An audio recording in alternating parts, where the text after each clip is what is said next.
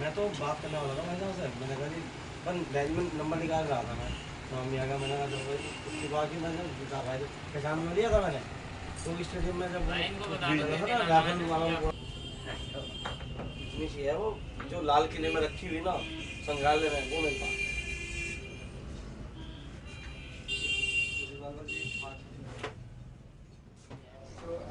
There are a lot of loopholes in India's gun laws at the moment. Uh, we have a lot of small arms and light weapons in circulation around the country, and with rising armed violence because of uh, poverty and lack of uh, resource, government of India is doing its best, but it is not enough. The government contends that it's the state's monopoly to defend the life and liberty of citizens.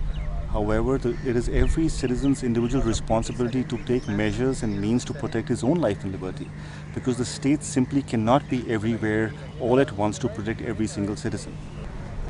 Because everyone's life is precious and everyone has the right to defend that life and liberty.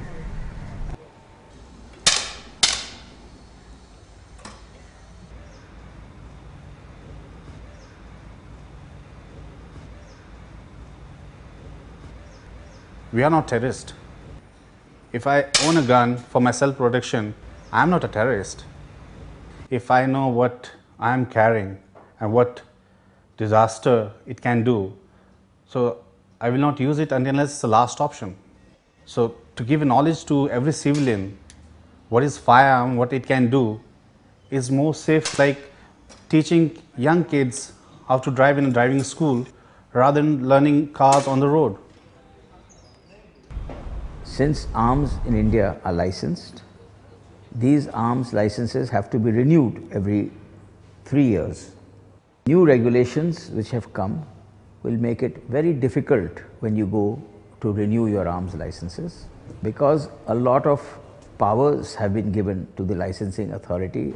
It would result in substantial delays and untold harassment and hardships to law abiding citizens of our country.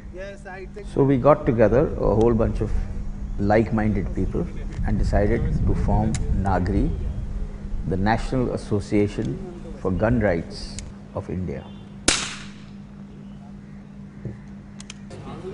The National Rifle Association in America is the standard by which all gun right owners judge themselves. Here is an organization which has dedicated its life to protecting a fundamental democratic right. For us in India, this is a beacon of hope. Security of my life is responsibility of the administration. You don't need to run around uh, issuing, uh, throwing around arms to people to take care of themselves. So you have the uh, people here to do it. They are paid for it, right? They're paid from our taxes we pay. They don't do the job, so you let them. Uh, you have desperados on the road. I think we owe it to the legacy of Mahatma Gandhi and we owe it to the richness of the heritage of this country to be able to say that this is wrong, to arm every Indian citizen is not in our legacy.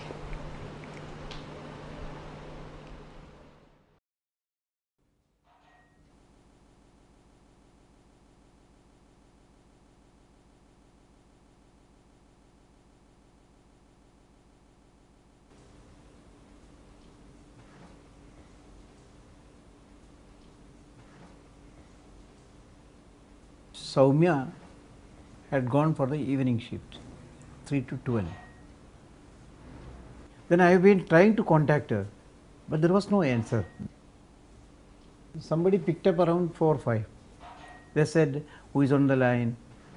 They said there has been an accident. There is an accident. Who was there? In? I said, It is my daughter. They said, You come immediately to the site. They explained to me. So the bullet, it was hit here, no. Those people, their intention was to rob her. Very clear. It is very shocking because yes, we had read of such cases here and there, but somehow it was something you know far off. We never thought it would happen in our life. This sort of a thing.